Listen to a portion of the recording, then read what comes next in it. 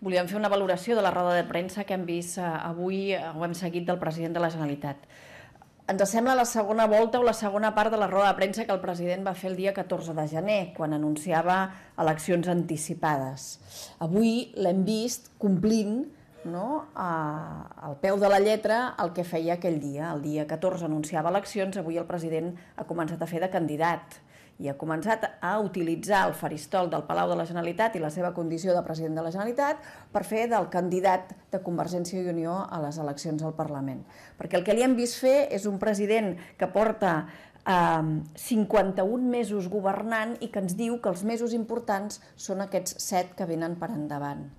un president de la Generalitat que ens ha vingut a dir oblideu-vos del que hem fet durant aquests mesos, del que hem fet i del que no hem fet, oblideu-vos de la manca de polítiques o d'iniciatives per mm, enfrontar la crisi econòmica, la reindustrialització del país, l'emergència social, tot això no ho hem abordat, però l'important són aquests sis mesos que ara venen. Oblideu-vos dels 6.000 milions de retallades que venim acumulant en aquests 51 mesos, oblideu-vos de totes les lleis que vam fer aprovar a l'inici de la legislatura i que ara hi tornen amb aquesta llei de simplificació administrativa, que es carreguen controls, entre altres ambientals, però també de tota mena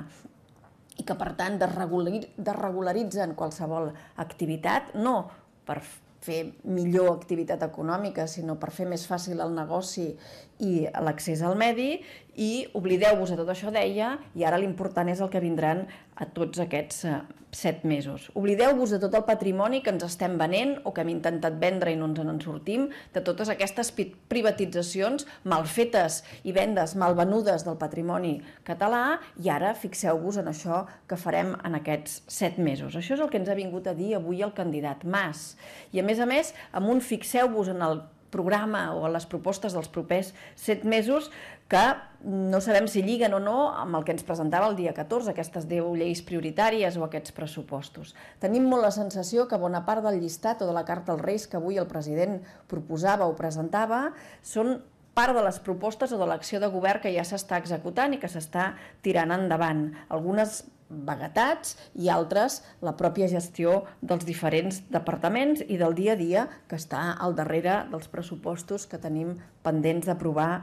a les properes setmanes. Ho deia la Marta Ribes, els proposo escrutar aquest llistat de eh, promeses o de vaguetats o d'accions que ja s'estan realitzant eh, amb una, per exemple, que lliga amb la que ella acaba de presentar. El president parla de la necessitat de reconèixer formalment la cobertura universal a tots els col·lectius exclosos per un decret estatal. Molt bé, la prova del cotó és aquesta proposició de llei, que és l'instrument per garantir que no hi hagi aquesta exclusió que fa el decret estatal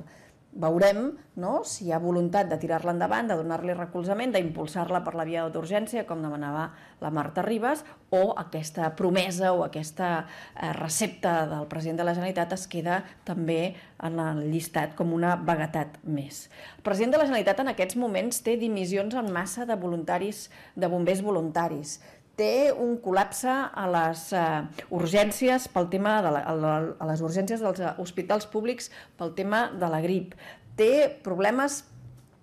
que venen, eh, no? que, que evidencien, per exemple, consellers que un dia surten dient que a Catalunya no hi ha pobresa energètica ni a ningú, ni a ningú se li talla la llum per no pagar el rebut, però al cap de tres dies surten demanant caritat per nodrir un fons per pagar els rebuts de la gent a qui se li talla la llum. El mateix conseller amb tres dies de diferència.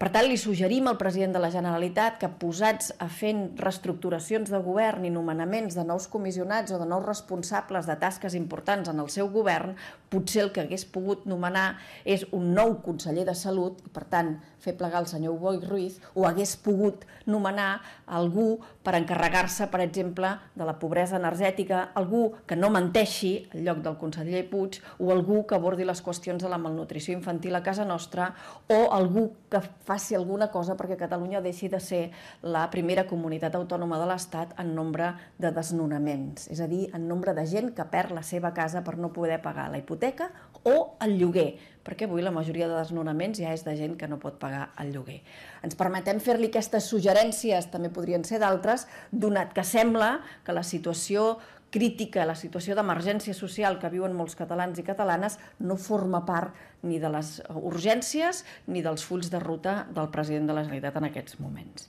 I això és el que volíem valorar havent vist, eh, no? després de veure